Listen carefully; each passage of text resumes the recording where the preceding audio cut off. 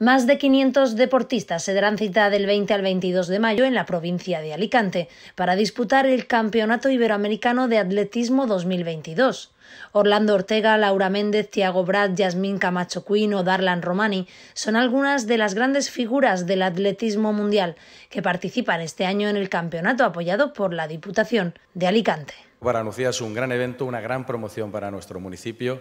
Esperamos estar a la altura de la federación, del equipo técnico, del seleccionador, que siempre es muy exigente y quiere que salga todo eh, perfecto. Ahí estaremos, Pepe, trabajando eh, con, muchísimo cariño.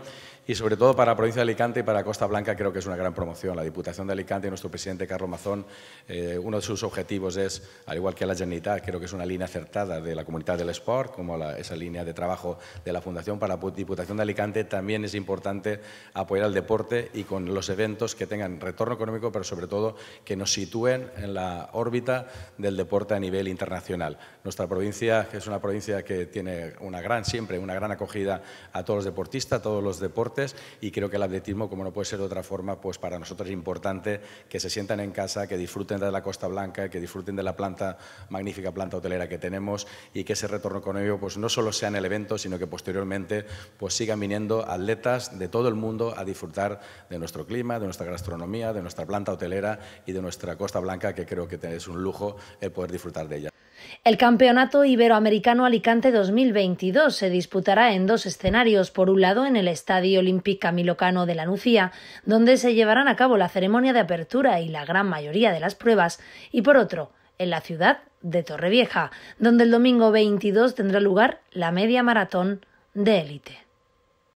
Para nosotros en la ciudad de Torrevieja es importante también no solo que nos hayáis elegido porque llevamos cuatro años, casi cinco, en el que perdimos nuestra media maratón.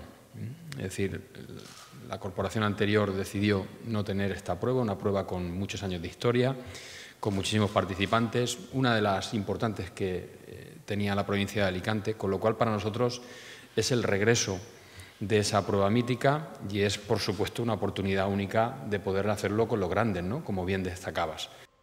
El presidente de la Real Federación Española de Atletismo, Raúl Chapado, ha revelado el lema elegido para esta competición, la fuerza del destino y su significado.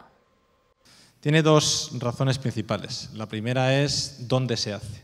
Es decir, tiene una fuerza turística, queremos recuperar y ayudar con este evento a lanzar todo lo que es eh, la Costa Blanca, todo lo que es la Nucía, todo lo que es Torrevieja, toda la comunidad valenciana, la provincia de Alicante y es esa fuerza que tiene y que queremos transmitir al mundo a través de este CLIM.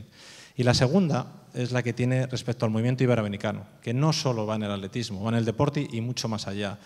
La celebración del campeonato generará un importante impacto directo en la economía de la provincia, especialmente en sectores como la restauración, el comercio o el hotelero, ya que la caravana del Iberoamericano Alicante 2022 estará integrada por más de 1.300 personas, entre deportistas, técnicos o miembros de la organización.